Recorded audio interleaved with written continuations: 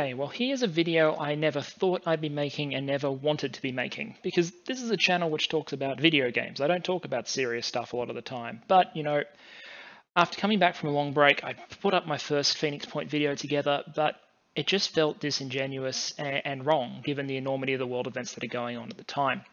Because over the last week or so, the world has been treated to quite an incredible sight um, a conventional military conflict in Europe in which uh, the forces of the Russian Federation, long vaunted by NATO as potential peer adversaries, appear to have really, really bloody struggled uh, against the Ukrainian armed forces. And this has come as a surprise to a greater or lesser extent to most commentators. Now, I don't want to join the barrage of armchair generals that are uh, giving their quick takes on this at the time, but I thought I'd use it as an opportunity to discuss the concept, um, a concept which I am familiar with, which is the idea of investing in a capability ahead of time in order to meet a national objective. Um, we've talked about operational concepts in relation to video game before. Today, I'm going to talk about a real concept in relation to a real event, and that is why, in my view, the Russian military was simply not built for this conflict, and that explains at least part of the uh, well, the interesting results that we have been seeing to date. Um, the reason I'm making this is because in the lead up to the conflict, and even since the conflict broke out, I have been seeing graphics like this everywhere. Um, news organizations, hot takes, articles trying to paint this as a massive underdog story. Russia is the traditional big bad, and we've been seeing numbers everywhere, like the Ukrainians are outnumbered 5 to 1, 10 to 1, that they're being outspent 10 to 1. Um, and even now, even with everything that's happened in terms of the, the intense resistance that the Ukrainian, both regular military and the territorial defense forces have been able to provide, we're still talking about this in the sense that uh, we believe the Ukrainians are still completely and utterly overmatched. The, the roots, I think, of this conception of Russia as the steamroller, the bear, the force that was, when it was the Soviet Union, come steaming through the Fulda Gap and make it to the Rhine in seven days. Um, the roots of that conceit go back years. But for those of us in the acquisition space, or for those of us who have been dealing with the, the concept of military acquisitions and investments in the past, um, Russian underperformance doesn't come as that much of a surprise in that narrow sense. Um, so let me answer the question that you're all asking after a minute and a half. What's a gaming guy talking about here? Um, I'm going to cover a few things in this in this video in this hot take. I'm going to explain what I'm not trying to do. Then I'm going to talk about the fact that military strategy is built strategy. You can't just make it up as you go along unless you're willing to sacrifice a real um, premium in blood and treasure in order to accomplish your goals. You need to plan for capabilities that you're going to require later and invest in them in advance. Then we're going to look at the Russian military defense budget. We're going to ask where did all the rubles go if not into developing the kind of capabilities that would cause them to not get embarrassed by a whole bunch of militia with uh, 1980s ATGM tech. Um, we're going to talk about the Ukrainian military by contrast. Uh, what's happened since 2014 from an investment standpoint, what capabilities that generated. We're going to talk about the current situation that's resulting. I'm going to try and answer the conceit then, uh, which is, does this mean the Russian army is shit? Is it a complete paper tiger, or was it just built for a different type of conflict? And then in my view, having examined those concepts, what could the Russians have done better from an investment perspective? What can the West do now? And also, what are the lessons for us uh, in our respective countries or our own organizations? You don't have to be in the military to take this conception on board. Um, the idea of making sure that you are investing not in vanity capabilities, but what your um, government, what your state requires in order to accomplish its underlying goals. And that's an area where I've got a little bit more familiarity. So there we are. So what this presentation isn't, this is my disclaimer, because I, like I said, I'm getting really frustrated with the number of uneducated hot takes out there, uh, and I count mine among them. Uh, I'm not military, and the internet doesn't need more experts commenting outside their field. So I'm not going to be passing judgment on Russia's apparently operational and tactical batshit decisions. They appear batshit to me, but we're talking about the fog of war. We've got propaganda coming out from both sides. It's hard to get clarity. I don't have access to any classified intel any more than 99% of the people listening to this channel do. Um, so I can't answer why they're making these terrible decisions. I can't tell you why they keep dropping the VDV uh, in suicidally small groups well ahead of ground and air support. I can't tell you for sure who's going to win. I don't want to answer operational tactical questions. I'm going to try and keep the Ukraine strong memes to a to a minimum, but you know, gaming channel. It runs in the blood. Out of respect for the immense humanitarian tragedy that is playing out in Eastern Europe at the moment, I'm going to try and keep that tone down. But the fact is that the farcical nature of some of the things that have happened during this invasion do indeed merit memes. I'll try and stick to my lane in short. So let's get to the concept and what I'm trying to debunk here. Um, people have been trying to paint this, and to an extent it is, but paint this as a completely two-dimensional David versus Goliath struggle. Uh, Russia, in the, the popular conception, is the inheritor of the USSR's military, and that terrified entire generations of Western observers. Then 1991 happens, the Soviet system collapses, um, and with that you get the rusted submarines, the um, complete decline in former Soviet military power, and then you have the Putin era in which the military in Russia appears to get uh, constant budget increases, modernization, they get new equipment. They're very good at publicizing that new equipment. They appear to have regained some of that old strength, and it has again terrified many Western observers. That, coupled with the fact that by hardware count, the Russian military is truly gigantic. It may not in spending terms be much larger than a lot of the Western European militaries, but in the sheer number of tanks, armored personnel carriers, uh, all of its kinetic uh, kinetic elements. So fires, um, in attack helicopters, in aircraft, the sheer number of platforms available to the Russian military is, is bonkers. And it's in that respect, in sort of a platform count respect, that it presents itself as a peer to, say, the United States or China. Um, in a lot of commentary, it's placed alongside China as a peer or near peer adversary. And then by comparison, admittedly, Ukraine in 2014 had a military that basically just fell over. Like there was no resistance um, really uh, to the covert, well, the overt covert operations that the Russian Federation launched. So, that being so, if the Russians are a modernized inheritor of the old USSR and Ukraine's army was basically MIA in 2014, WTF is going on? Like, why have we got pictures of relatively modern, in some cases, Russian and former Soviet armor looking like they're competing in the uh, the turret launch Olympics uh, as tank turrets basically try and imitate launches from Kerbal Space Program all over Ukraine. Why do we have images of Ukrainian farmers um, dragging away stranded Russian military vehicles in trucks? Uh, why do we have videos of babushkas torching um, Pantsir uh, SAM systems with Molotov cocktails after they're abandoned by their crew. What is going on? Because this can't possibly be what Moscow has planned. There are answers that people can give you from a tactical perspective, from an operational perspective, from a morale perspective. And the reality is that uh, a Western observer in Australia is not the one who's most qualified to give you those observations on why from a tactical and operational perspective, this thing has gone so horribly wrong. I'm even going to try and stay away from the strategic, but I'm going to make some controversial statements that I do think I can defend. The first is, in terms of the capabilities that matter in the area that it matters, that is the ability to win a conventional and unconventional military struggle in the territory of Ukraine itself, things are a lot closer between the two sides than they initially appear. My second statement is if Russia knew this was their goal all along, then they built the wrong kind of military for this conflict. And the third point I'm going to try and defend is if the West wants to win this, I think they can. And that's just from an industrial, mechanical, technical perspective. And I don't that mean by saying, let's unleash the Poles and send um, NATO storming into Ukraine. I don't mean NATO shooting down Russian jets in a no-fly zone. I simply mean NATO can provide sufficient material support to the Ukrainian state to enable it to eventually win this conflict, either on the battlefield or in an unconventional conflict following a capitulation. So, how am I going to illustrate this? And I'm going to start by talking about the fact that military strategy um, is, I would argue, especially in the modern era, built strategy.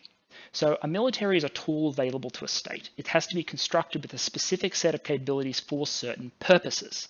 Um, militaries are constructed for very, very different things. If, for example, you are a landlocked nation that is only interested in territorial defense, then you do not need a navy.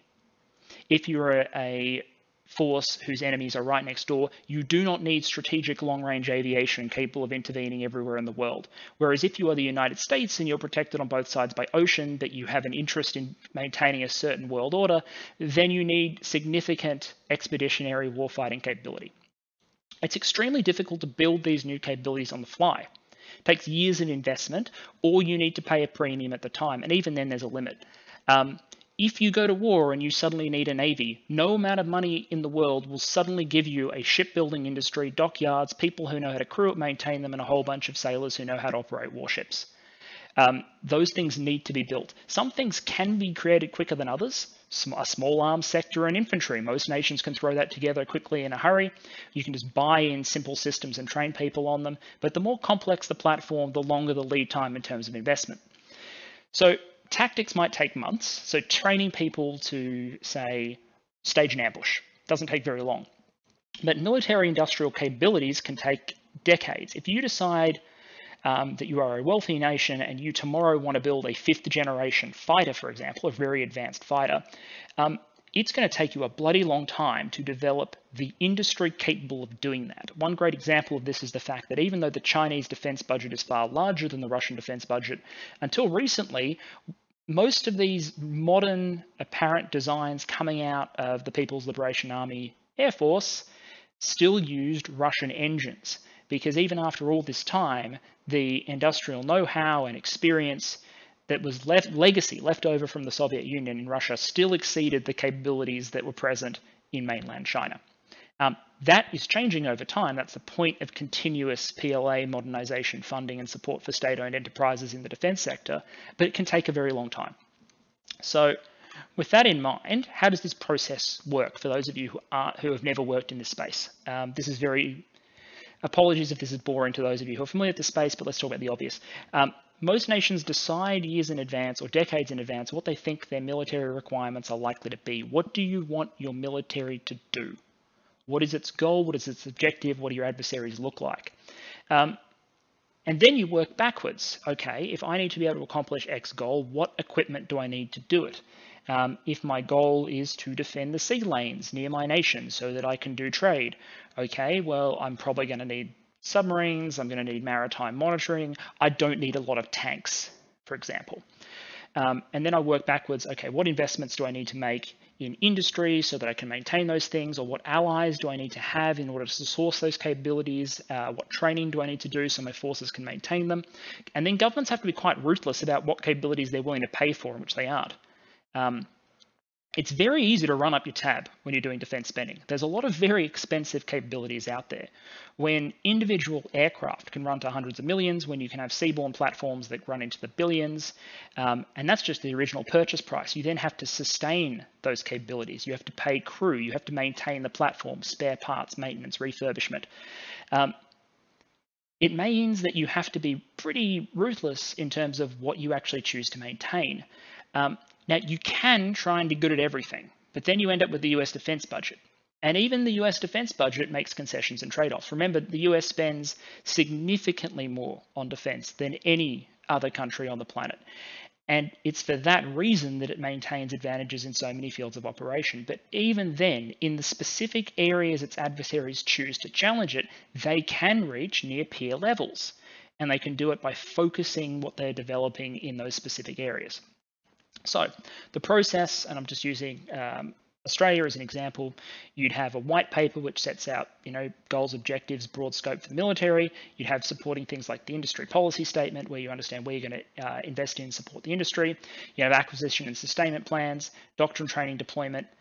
All follow down from this. Doctrine is informed by your requirements. The training is informed by the doctrine.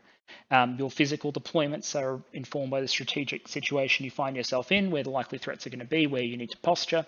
Uh, the whole process is covered in any country on the planet with lobbyists, politics, and in some countries, significant amounts of corruption. And it's no secret that this definitely applies in the Russian context. Um, for example, let's just say that you, there is a specific state within your country which manufactures a particular class of vehicle or a particular aircraft.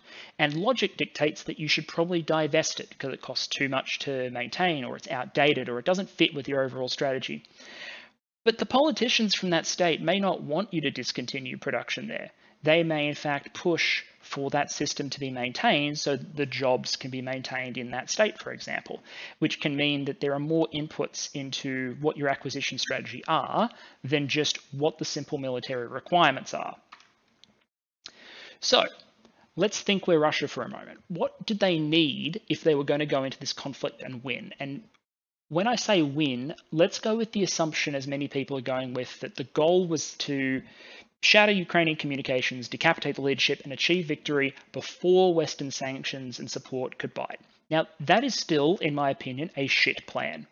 I think it's an unrealistic shit plan. But the idea, let's just assume the plan is to go in and within 48 hours, um, you've taken the capital, you've knocked off Zelensky, you've installed a puppet government, and you can just argue that it's a fait accompli. Um, there's no time for Western weapons to arrive, there's no time for Western supports to happen. There might not even be as much momentum for sanctions because what, what's going to change at that point? You're dug in, you've seized, you've seized the control of the country, you've established a new government. What, what are they going to do really? So let's assume that's the goal.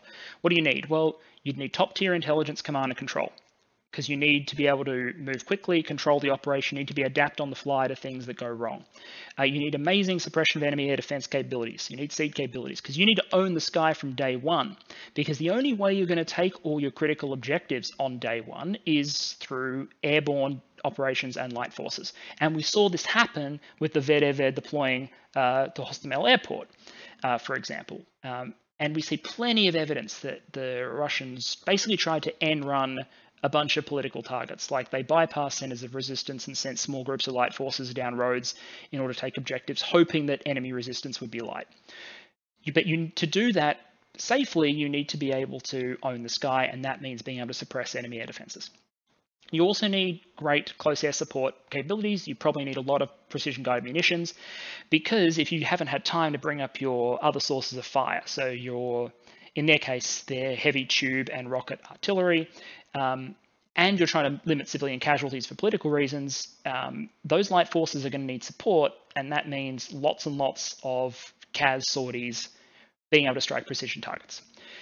Uh, you then obviously need those elite light forces who are capable of readily calling in fires, coordinating that with their maneuvers in order to seize critical targets, but also overcome conventional military resistance because it's not like your enemy's capital city, for example, is going to be undefended. It's not like they weren't aware that the Russian Federation had airborne forces. Um, and then you need sustainment to an operational depth of a few hundred kilometers. Um, Kiev, and apologies, I, uh, I spent years at university studying Eastern Front World War II um, operations. So I'm trying to force myself to use Ukrainian spellings and pronunciations for the relevant cities, but to my brain, after all these years, it is still Kiev. Um, you need to be able to sustain your forces far enough from the Belarusian border or whatnot in order to actually seize these critical targets. You need to link up with your airborne operators um, and basically close things out. Preferably, you would also not, as the Russians have been, be using things like civilian unencrypted radios to coordinate some of your movements, which the Ukrainians can listen to, and indeed random people in Australia with internet radio receivers can listen into if they have a basic knowledge of Russian and occasionally hear call and response from Russian military units, because that was pretty embarrassing. Um, so this is a this is a snapshot of the sort of capabilities you might want if you had tried to pull this off this operation off with any sort of prospect of immediate success. So where are these capabilities? If Russia is spending 15 times, 10 times as much as Ukraine on defense, where are these capabilities that they needed in order to conduct this operation? Where did the rubles go? So um, these are SIPRI estimates on uh, Russian expenditure in USD constant 2018 terms on the left. left. Um, Russia's fourth, fifth largest defense spender in the world. It does vary a little bit from year to year. Um, Saudi expenditure, for example, has an effect on where they place in the rankings. Um, Russian military expenditure has significantly increased since 2010, although it has been partly um, offset by the reduction in the power of the ruble. But even though these numbers seem relatively low, especially compared to, say, American numbers, um, we do have to remember there are some purchasing power advantage, uh, purchasing power parity advantages that Russia and China enjoy. That is, because you can buy more for an American dollar in Russia or more for an American dollar in China than you can in America, um, less money goes further. Your labor doesn't cost as much. You don't have to pay your soldiers as much. You don't have to pay your maintenance personnel as much. Um, a lot of your companies will sell equipment a little bit cheaper because their labor costs are lower and whatnot. There's, so you get a little bit more bang for your buck. And certainly, this expenditure dwarfs Ukraine's expenditure, although we'll talk later about why, why Ukraine's expenditure is a little bit deceptive. So, where do these funds go? And the answer, unfortunately for the Russians in the current conflict, is not really overwhelmingly towards the capabilities they needed. Um, I mean, the first thing is the Russian atomic arsenal. Um, Russian legacy nuclear capabilities are horrifying. Um, the strategic rocket forces are so important that they are largely independent of the rest of the military. Imagine if they imagine if the rocket forces had a status equivalent to like the United States Air Force. They're um, impressively separate. Um, the warhead count is is measured in thousands. I think it's something like 6,000 warheads, uh, 1,600 deployed missiles. I'm going off I'm going off memory here. Um, and beyond these sort of legacy arsenal that they've inherited from the Soviet Union and pared down to, mod nuclear modernization has been a significant effort over the last decade. So you've seen either completely new systems or systems that were being developed towards the tail end of the Soviet Union actually being deployed. So Topol-M, Sarmat, Bulava, um, so those are two road mobile ICBMs and a submarine launched ballistic missile. And these things are hilariously, hideously uh, expensive.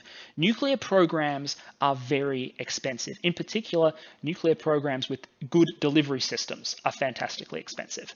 Um, the figures I found from a couple of studies are that, for example, the US during the Cold War probably spent about 5.5 trillion between 1940 and 1994, I think that is. So between the start of the Manhattan Project and the fall of the Soviet Union, they probably spent about 5.5 trillion dollars on nuclear weapons and nuclear weapon delivery systems. Most of that is the delivery systems, the development and deployment of missiles and whatnot not the warheads themselves.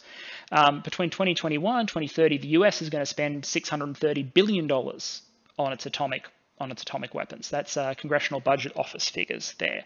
So you know, 60 odd billion dollars a year, and some of that is because they're refreshing their delivery systems as well. I bring in US numbers because Russia is not exactly transparent about how much it spends on its nuclear weapons modernization program. We only know that they're rolling out platforms and we see evidence that they're rolling out the platforms, not how much they're spending on it.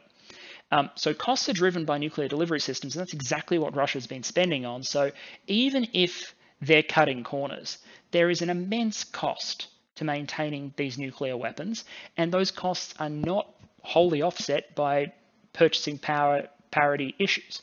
Um, and for all of that, these things have no influence on the Ukraine conflict, except for in the very narrow sense that because they exist, you're not going to have a conventional, like a full shooting war between NATO and Russia because no one wants to end the world in World War III.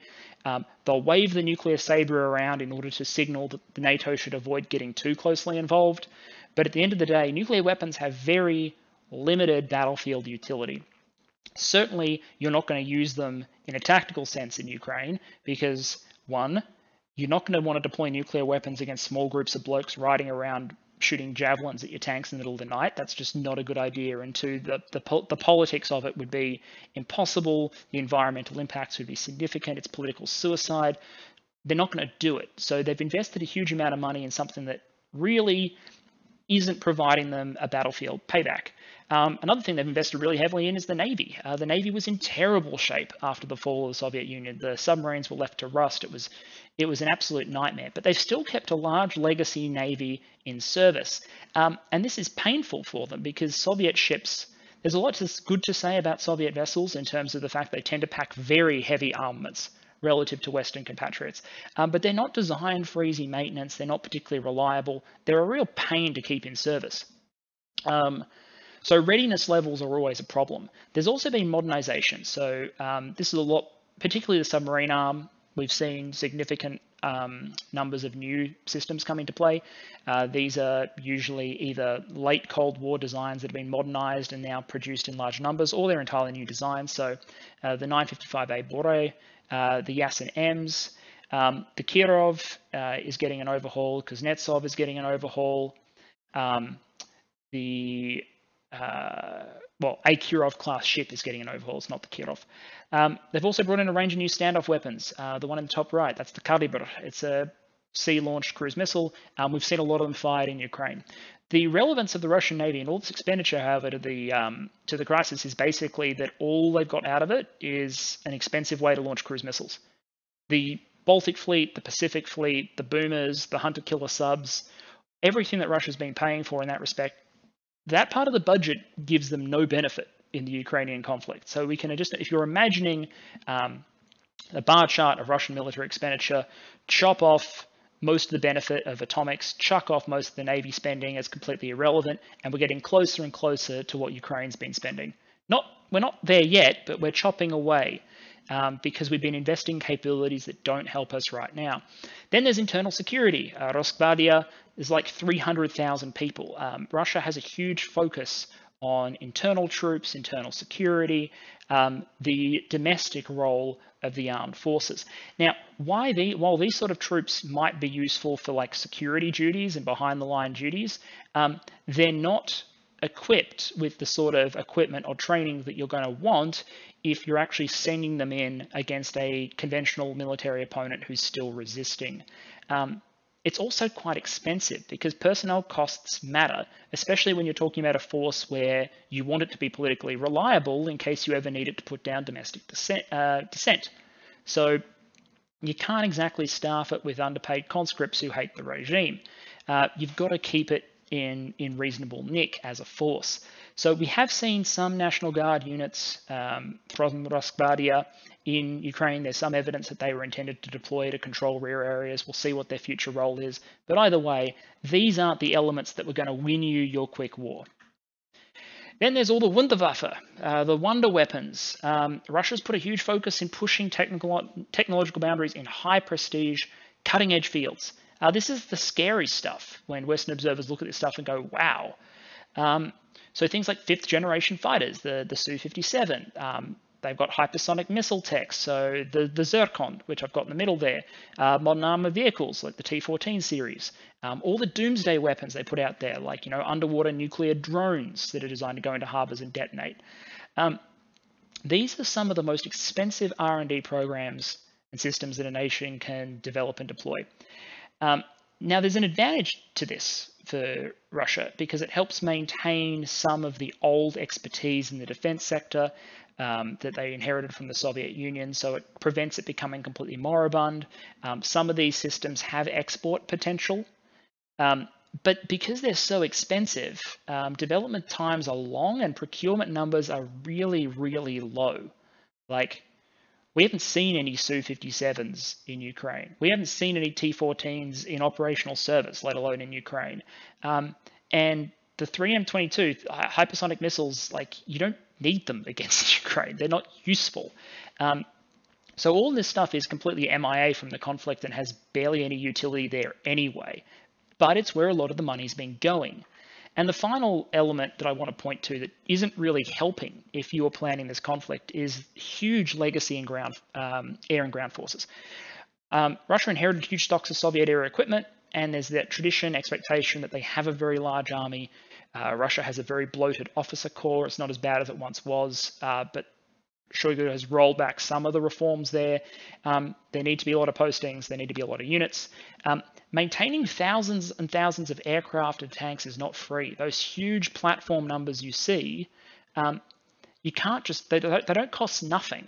You can't just leave them to stand still and hope they're okay. And in fact, some of the problems we're seeing in Ukraine suggest that in some cases, the Russians probably have just left the system there with minimal maintenance, and as a result, it's failing when it goes into action. So you've got these thousands of legacy systems that were built for very different conflicts, um, and they're supported by conscription. And conscript conscription's a bit of a false economy if you're planning a conflict like this. Uh, conscripts usually won't have the skills, the initiative, the drive, the motivation that you need when you're talking about a really high tempo advance in an offensive operation where they might be low on motivation because they don't even know why the operation is taking place. Um, and also for a nation, a conscription system, if you're actually using conscripts in combat, is a bit of a false economy, really, um, because yes, you don't have to pay conscripts very much, but while they're conscripted, those same individuals aren't, say, working a civilian job where they do something productive in the economy and pay taxes. Like, it's still relatively expensive when you think about it, and it gives you pretty ineffective soldiers. So I'm gonna I'm gonna simp for the Western concept of the all-volunteer force, except for in cases of emergency, or for those European countries that maintain conscript forces only so that in the case of uh, being attacked by a larger opponent, they can mobilize a large number of personnel. That makes sense because if you're being attacked, um, motivation amongst your conscripts is probably going to be high, and defensive operations have a lower technical skill requirement than a rapid offensive operation.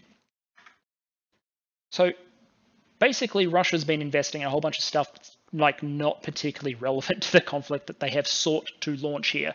Um, and that's indefensible considering that as the attacker, they got to pick the conflict. The Ukrainian conflict, uh, Ukrainian forces by comparison, um, so forgive the memes. And I know those are NLAWs, not javelins. Um, but I found the tweet funny, um, have undergone a huge overhaul since 2014. The amount of Western support that's been flowing in has been extensive. And you have to think for a moment that every dollar Ukraine spends on defense is being spent on the defense of Ukraine.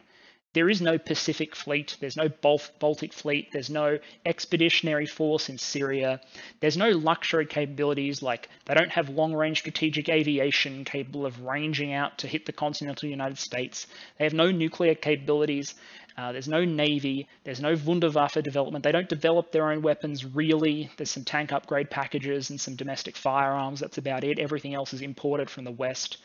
Um, they're able to focus just on what they need. And beyond that, there's also hidden elements of the Ukrainian budget, which is all the capabilities they don't pay for at all. Um, most of us are pretty confident right now, and I have no classified information. My job has no relation to that at the moment. Um, but we're pretty confident that they're getting um, satellite intelligence, really good updates as to the intelligence on Russian movements from Western forces. They don't have to pay for those intelligence. They don't have to launch their own surveillance satellites. They don't have to launch AWACS aircraft to hover around the Polish border and read Russian air movements. They don't have to infiltrate their own guys into the FSB and the Russian military. NATO's already done that for them. It just gives them the information. They also have manpower advantages, um, specifically because they're on the defense, right? Um, when you're operating on the defense and you can call up your reserves and you can call up territorial defense and all of that, um, you're able to mobilize a much larger portion of your population than, say, Russia is for a conflict like this, especially when Russia, hypothetically at least, has the rule that says you can't use conscripts um, outside of Russian territory. So even though the Russian forces are larger in total, the number of, of, troops that Ukraine can deploy in Ukraine itself is not as asymmetric with the Russian numbers as you would initially think. So They've modernized significantly since 2014. They've known what they're preparing for. The Ukrainian government has decided, I need the capacity to fend off a Russian invasion, and all that they have spent on is the capacity to fend off a Russian invasion. So, what is happening? Um, and I'm going to take a pause here to say we need to remember this is a humanitarian disaster. Um, every life that is lost in this is horrific. A lot of my family are in Eastern Europe. The refugees from Ukraine are flowing in and they're doing everything they can to support. Um, for anyone with a concept of history, um, a love for Slavic culture and appreciation for Russian and Ukrainian history, to see the same mistakes again being made, um, to see a completely unnecessary uh, invasion motivated um, by the worst possible reasons bringing this like let's remember that what we are seeing first and foremost is a humanitarian disaster. But from a military perspective we're seeing a lot of problems with the russian operation so far. We're seeing logistical issues material losses. We're seeing poor coordination and communication to the point where russian troops are using civilian radios and cell phones in order to try and coordinate movements. We're seeing mud cause problems. We're seeing poor maintenance cause problems. We're seeing memes of abandoned Russian vehicles being stolen by Ukrainian farmers with their tractors. None of the early campaign objectives have likely been achieved, and all of the NATO observers who thought of Russia as a peer adversary who are predicting a 72 hour victory see their opponent making gains in Ukraine, sure, but certainly struggling to do so against what was nominally meant to be quite a weak opponent. What I see from my perspective is that a military specifically built for this conflict, uh, a Ukrainian force which is constructed with the goal of defending the territory of Ukraine, is punching well above its weight in the role it was designed to do, and it's fighting against one that is poorly optimized for the task that it's being given. Uh, a Russian military built for a different, very different type of war, trying to fight a war in this way, which is why we're seeing I think now we'll see more of the Russians drifting back towards existing doctrine, the sort of stuff that we saw in Syria. I hope we don't see it, but we might. And as I said before, this is unforgivable from a, a really cold strategic perspective for Russia because Russia got to choose this war. It got to initiate it on its terms. It presumably knew it was coming. Um, they could have spent the last 10 years preparing for it, and we're not seeing any evidence that they did. So, what am I seeing? Um, I'm seeing the myth of that Russia is just doing more with less partly busted. It looks like um, in order to be able to afford their nuclear weapons, their navy, their prestige uh, projects, um, all of their platforms, on a budget of 60 odd billion US dollars per year, they've cut corners. It looks like they've cut corners everywhere. And it's on the small stuff, but important stuff. Um, tanks and areas without navigation devices. We're not seeing much evidence of night capability or optics on Russian weapons. Like uh, Russian offensives tend to pause at night because the average infantryman and the average unit doesn't seem to have night fighting capability. Um, the Russian Air Force seems absent. And one of the best theories that is out there is because they don't have the uh, uh, supply of precision guided munitions necessary in order to carry out the conflict. They don't have enough They've invented cruise missiles, they've invented PGMs, but they don't have the inventory necessary to support operations. Um, people are observing and, and looking at vehicles and saying that they look like they haven't been given preventative maintenance. They look like they're using, in some cases, knockoff tyres rather than properly spec'd ones. There's evidence everywhere of a lack of preventative maintenance. There's issues of tremendous readiness issues everywhere. Spending priorities have evidently not matched strategic operational and tactical needs. What they have spent on is not what they need to win this conflict the way that they plan to win it, and as a result, ordinary Russian troops are paying the price for vanity projects, corruption, and poor support for the, uh, and a poor support spine for the military goals they've been asked to achieve. The Russian units are all teeth, they're all fires, and they're no comms, they're no navigation, they're no coordination, they're no training, they're no readiness, they're no maintenance, they're no logistics. Um, they're all teeth and nothing else and that's a problem for them. I'm sure the Ukrainians are very grateful that they have made that error, um, but if we're going to take a learning experience out of these first couple of days, one of the initial things I note is this seems to be the problem. That there's a lot of cost cutting, that there's a lot of corruption, there's a lot of issues, and as a result, military performance is suffering. So is the Russian military shit? Because this is the hot, hot take that is increasingly appearing in all the commentary communities read it. There are now, even in defense journals, we've got articles popping up saying, hey, the Russian military is a paper tiger. Um, I don't think we have enough evidence to say that yet. We do have enough evidence to say that at very least they effed up their priorities if they knew this conflict was coming. Um, before this conflict started, and I'll admit, I was, and everyone I know was in the camp of they will not invade, um, because, you know, um, we look for signals in their spending priorities in terms of what we think they're going to try and achieve. Their spending priorities to me, and this is just me, suggested that they wanted to be able to do global force projection into smaller conflicts. They wanted to be able to do this serious stuff. They wanted to be able to send small forces overseas, intervene in order to prop up global influence. They wanted to maintain prestige through their military. Uh, Russia has a weak economy. Russia has a declining population. Uh, Russia has deep domestic issues in its political system, in its social systems, but they have a strong military, they have a large nuclear force, and that maintains their international relevance and prestige. Nuclear deterrence was obviously one of their goals, although they way overspend on it. Um, they wanted to maintain their old cutting edge industrial capabilities, possibly for export purposes. Uh, there are a lot of potential markets out there for Russian hardware if it's peer or near peer with Western capabilities, but is either cheaper or you can be bought with fewer strings attached than, for example, when you buy advanced equipment from the United States or from Germany, it tends to come with a lot of strings. And they wanted large conventional capabilities at home, largely for domestic suppression. Um, and even those large legacy military capabilities they kept on hand, in a conventional campaign defending the homeland would be in a better shape because they're based at their supply bases. You don't need a long logistics chain.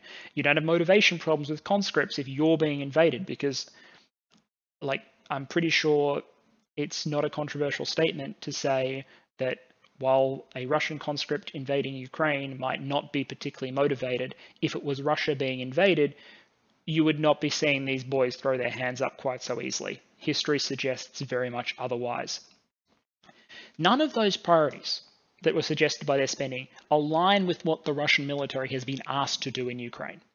There is a serious investment capability gap, um, and that gap should have 100% been known to the political and military leadership. Now, whether there is a yes man problem wherein those at the top are being given inaccurate uh, understanding of what the capabilities on the ground are, or they're just dumb, and there's other explanations too, but either way, they should have known, they should have understood. Most Russian investment for the last 20 years is borderline useless to what they asked the military to do in Ukraine, which was quickly effect the takeover of a nation within 42 to 70, 48 to 72 hours um, and install a new puppet government in order to basically unify what they would call um, the the little Russians and the greater Russians. So uh, they want Belarusia, uh, Ukraine, and Russia all united. We, we understand that. That's been leaked from some of the articles, etc. Like that's not controversial. We know Putin wants that. Um, so I would not have predicted this invasion based on their investment priorities because I would have assumed that they would invest in the capabilities they needed for this sort of conflict. Um, this conflict is also probably proof that they do need to re revisit the all fire, no support approach in designing their combat unit, but it's hard to judge based on seven days of cluster. You know, um, we need more evidence to understand, but generally, the fact that Russian uh, BTGs heavy on fire elements and short on support elements relative to Western units, suggesting maybe there's a reason. It's not just Western units are soft and require their hot meals every night from their canteen. Maybe there's a real logistics reason that uh, Western militaries weight more heavily towards support elements. So how could they have done better? Um, well, if they were listening to one bloke in Australia, and I'm glad because they don't have time to fix it now, um, let's say it's 2014, you knew this was coming, uh, what do you do other than not invade? Because invading is a dumb shit decision. Um, first, you have to create investment space. Uh, let's assume the Russians can't just massively increase the military budget. Um, they're already straining to do it as it is. Um, you need to buy space in the budget. So what would you do? Okay, our goal is to be able to take over Ukraine quickly in a quick, clean op. Uh, so we need to get we need extra money. Uh, a lot of legacy hardware has to go. So I would scrap thousands upon thousands upon thousands of tanks and AFVs. If it's too old and we can't afford to modernize it, it goes. Um, a lot of the Air Force goes. Uh, let's sign a new strategic arm limitation treaty with the West. It makes it look like we're being good global citizens, but mostly it's there so we can reduce the upkeep cost of our nuclear arsenal. Um, China doesn't feel the need to maintain 6,000 nukes, and yet it's perfectly safe because no Western leader is going to push an issue to the point that they initiate a nuclear war. And America doesn't care if it loses its 15 largest cities or its 2,000 largest cities. 15 cities is still too high, high a price to pay for just about anything. So get rid of most of the nukes. Um, stop pretending you're the United States Navy. You can't afford to be the United States Navy, and you have no strategic need to be the US Navy. Um, the big vanity project ships like the Kirov class, I'm sorry, everyone loves them, but they're the Russians' Iowa's class battleships. People hanker to bring them back for prestige reasons, and I'm not saying the ships can't do a mission. I'm just saying they're bloody expensive, and the mission they do is not worth the cost. Um, a lot of the Russian surface elements got to go. You can keep the submarines if you feel you need to, but the Navy's not helping you for the most part. Tone it down. Uh, you shrink the overall manpower footprint of the force considerably. Uh, a lot of the National Guard can go, the, a lot of the internal troops can go, some of the railway troops can go. Um, you need to get smaller and more lethal. Uh, the aerospace and rocket forces have to shrink like a lot. Uh, massively reduce the number of airframes, trim the officer corps, and you exercise discipline in the development of new systems. Uh, if you can sell it reliably overseas and make money on it, it stays in. So things like the Su-57 probably stay. Stupid doomsday weapons that you will never use and no one will buy and you'll never export are out. I'm sorry, the underwater doomsday weapons that they probably made up anyway, if they exist, they're out. Um, that saves you a shit ton of money. Then you resolve capability gaps. Uh, hardware modernization. Don't forget the basics. Get everyone goggles, get everyone ballistic vests. Uh, invest in preventative maintenance, logistics, training, personnel retention. Increase the, the pay of your troops so you can actually attract enough contractors and they stay on board and you get people with a good enough educational background and enough motivation in order to do it. Teach people to do their jobs. Give the Air Force enough flying hours to actually practice running SEAD and give them the munitions to do it. Practice doing CAS and give them the munitions to do it. Um, increase the quality of life for your troops so they're not um, just utterly demotivated. Um, you probably also have to deal with endemic corruption. That's beyond the scope of what I know about. I don't know how to fix corruption in the Russian military. Um, it's a problem. It's got to be solved. Um, I'm going to add a disclaimer at the bottom here, though. I am from the West, so my first inclination is to westernize the Russian forces because that's what I know. And clearly, if we didn't think it was the right thing, we wouldn't be doing it. Um, but I basically westernized the Russian military, um, essentially, paring it down to the capabilities that they need in order to accomplish their goal. Um, that said, I think it was a dumb goal, and if I was, if you were in the charge of the Russian Federation, you were arguing what capabilities they should have, I'd give them a very different mission profile because I'm not insane. What about the West? What does the West do now? Um, continuing with the hot takes. Um, I think the West needs to decide if you're trying to help the Ukrainians win, Ukrainians win this, or are you just trying to make life hard for the Russians? Um, in the first part of the after the Soviet invasion of Afghanistan, I saw an interview with one of the guys, one of the CIA guys who was involved with this, and he said, and he was quite honest about the fact that for the first few years they were just trying to make the Russians bleed. They were just sending in small quantities of weapons to try and increase the cost of occupying it. And then towards the end, Reagan comes in, and the strategy instead becomes flood Afghanistan with support in order to actually beat the Russians. Um, and we're seeing some signs that maybe NATO is serious about helping the Ukrainians win this. The initial munitions response uh, that's being provided is promising, particularly from the Euros, not from the Americans, but particularly from the Europeans so far. Um, we're now in the territory of tens of thousands of ATGMs, uh, manpads, um, many tens of thousands of small arms, millions of rounds of ammunition, um, artillery pieces. I think the Czechs sent 4,000 mortars. Like there's a lot of equipment flowing in. And what we're seeing from this conflict is a relatively cheap investment in uh, javelins or NLAWs or all the other weapon systems that are coming in can be very effective, even in the hands of relatively unskilled operators. Like a territorial defense fighter with a little bit of training and an NLAW can absolutely bust up a tank crew, and they are busting up tank crews. And the javelins are performing tremendously. Some of this might be propaganda, some of this is fog of war, but certainly the indication is it's working. Um, I would add that temporary reductions in NATO conventional capabilities, to me, are probably 100% acceptable. Like, you're not going to go fight the Russians conventionally. So if you have to empty some Bundeswehr storehouses of weapons, if you have to leave your own units without munitions temporarily in order to send them to Ukraine, do it because you're not going to use your troops, whereas uh, the weapons that you're sending to Ukraine will be used. And then you want to make the calculus clear to the other side very, very quickly. You want to make it clear to the Russians they won't win, and you want to do it as fast as possible. Um, I would suggest doing things like underwriting the Ukrainian budget if you have to. The West is entirely capable of underwriting the entire Ukrainian defense budget if it needs to. Ukraine doesn't need any money. Like it is relatively cheap by Western standards to pay for the entire cost of this thing. Uh, you go through all the Eastern European states, you empty the warehouses of every Warsaw Pact leftover they can find. Germany did this the other day when it went and found a whole bunch of Strelas, I think 2,700 of them, and said, hey, these are going to Ukraine. Um, my family are Croatian. Croatia's got some old Yugo stocks that are going. The Czechs have got a whole bunch of old Yugo stocks going. Um, not old Yugo, old uh, Warsaw Pact stocks that are going. Um, so there's a lot of gear that you can shovel across the border, as well as you know NLAWs, javelins, and the various things that Spain and others are providing. Um, Russia, uh, another strategic concept is you want to make sure that you, to an extent, show there a consequence for another side breaking a rule. So Russian volunteers in inverted commas have been very active throughout the conflict. So Western inverted commas volunteers should be active in return. Um, we're already seeing the International Legion being formed.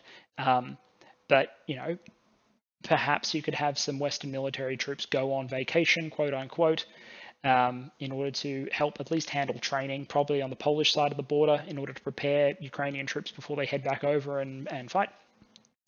Uh, intelligence information warfare is obvious. Uh, the Ukrainians have probably already outsourced most of this to the West. Um, and I'll say that this from a investment perspective, which sounds very cold, but it's also the most humanitarian in a sense. Um, you want to build up capabilities as quickly as possible and make it clear quickly as possible to the other side that they can't win because the sooner this thing ends, the less damage there is to civilian infrastructure. Dragging it out um, is unnecessarily painful for everyone involved. Uh, too many Russian conscripts will die. Too many Ukrainians defending their homes will die. Civilian infrastructure will suffer. It's it's it's sad. It's horrible. So you want to end this thing as fast as possible. There's two ways you end it: either Ukraine wins or Russia wins. Um, ceasefires with favouring one or the other are obviously species of that. Um, so unless you're willing to, if you're not willing to capitulate, then you need to be in it to win it, and you need to be in it to win it as fast as possible, which is why countries as far as afield as Australia are ponying up tens of millions of dollars already in military aid to try and signal that they're serious about this thing. It's why the sanctions were so heavy straight away. Um, side note, because building up capabilities quickly is, is important, uh, can the A10 crowd in Congress be quiet, please? We are not sending A10s to Ukraine to train and teaching Ukrainians how to fly them. Like, it's just not happening. Please be quiet. Um, a note here, Russia has the capability to escalate. So Russia, for example, could call its reserves. Russia has a large reservist force. They could mobilize. Ukraine has mobilized. Russia hasn't. Russia's just using active duty. There's not that many Russians invading Ukraine in the grand scheme of things. It's like 200,000 troops concentrated on the border. Um, not and most of them have crossed, but that's still a relatively small force compared to the sort of manpower that Ukraine's trying to call up. Um, Russia could escalate, but you need to convince them it's not worth it. And I don't, I'm not sure as an observer how the domestic situation in Russia would handle them, for example, calling up all their reservists. Um, I'd also encourage people just to be responsible, stop talking about World War III, stop trying to make this World War III um, and describing Ukraine's inevitable defeat. Like, I actually think a lot of Western observers have been very unhelpful in saying, oh, you know, we think Ukraine will eventually lose. Screw that. Um, like, even if you believe that was true, there is zero advantage of putting that into the public domain.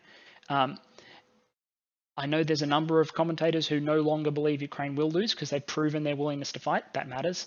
Um, and from a mathematical perspective, from an economic perspective, um, there's no reason to believe that this can't be turned one way or the other.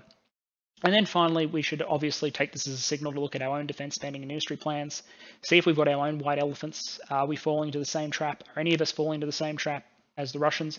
You could be running a business in a completely non-military field and you can run into the same trap. Do you have prestige projects um, are you doing things you don't need to do? Are you neglecting your core business, your core capability in pursuit of some white elephant? Uh, and if you are, you need to trim that and get back to doing what you need to do in order to accomplish your goal, whatever that might be. So what's my summary um, for this bizarre video by someone who doesn't like to talk about their day job and instead likes to talk about video games? Um, militaries are built by long-term investments in capabilities. Despite spending vastly more than Ukraine, Russia's spending priorities have largely centered on capabilities that are not useful for the fight in Ukraine. Most of what they have spent is not useful for what they are trying to do. By contrast, what the Ukrainians have spent and also what they've received in aid has focused squarely on high return capabilities like infantry based, like light infantry, anti armor capabilities, ATGMs, manpads, air defense. Um, high return capabilities for exactly this kind of scenario. Even the, the TB2 drones uh, from Turkey, low cost but high return capability for the war they're fighting. Um, Russia built the wrong military for the job. It doesn't mean they can't or won't win necessarily. They they they may well, um, but I don't think they have to. And certainly, uh, it means that they could have invested much more wisely if they knew this was going to be their goal. Western financial and military industrial resources are such that if the will is there, Russian victory can be severely complicated or even averted. Um, the West, Germany just announced a $100 billion stimulus to its defense budget. If the West wanted, the West could provide so much military aid to Ukraine that it would exceed the Russian military budget relatively easily. Um, it's possible you can turn this into the mother of all proxy wars if you want to. Want to. I'm not advocating anything. I'm just pointing out that from an economic perspective, you can. Uh, Western military industrial complex go burr, basically.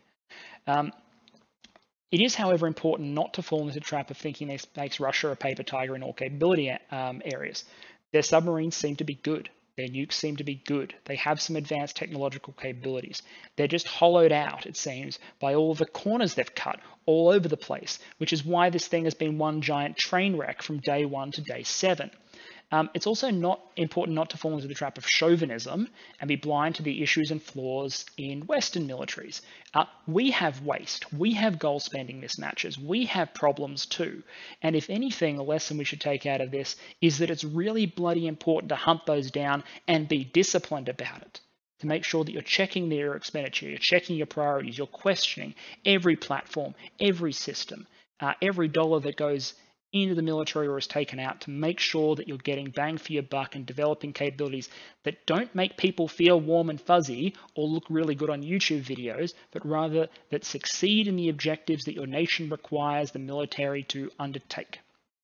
And the final point is that I should go back to discussing video games. Um, I'm just going to leave my best wishes for all the people who are caught up in this.